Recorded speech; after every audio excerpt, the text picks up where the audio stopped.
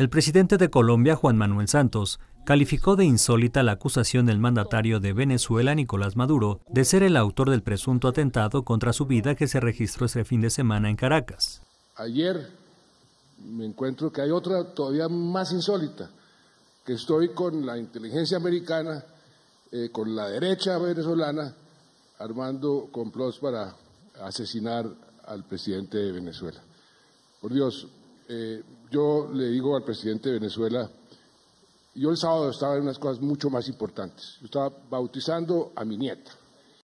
Este sábado 4 de agosto, el presidente Maduro, su esposa Cilia Flores y el ministro de Defensa Vladimir Padrino López fueron evacuados cuando participaban en la celebración del 81 aniversario de la Guardia Nacional Bolivariana, luego de que francotiradores derribaran supuestos drones cargados de explosivos.